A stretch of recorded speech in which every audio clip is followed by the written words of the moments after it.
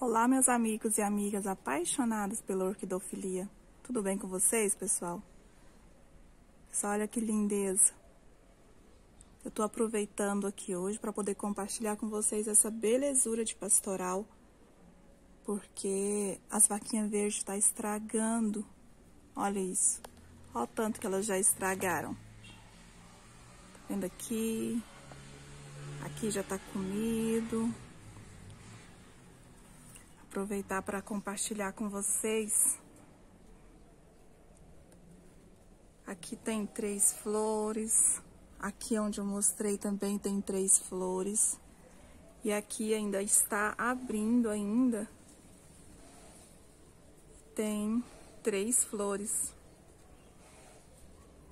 Olha essa lindeza. É linda, não é, gente? Essa catleia é maravilhosa.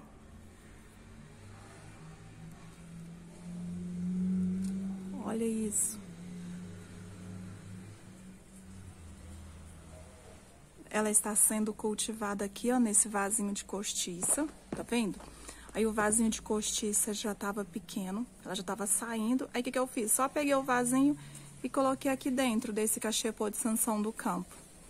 E ela tá enraizando aqui todinha aqui dentro desse cachepô. Lá dá pra vocês verem, olha lá as raízes.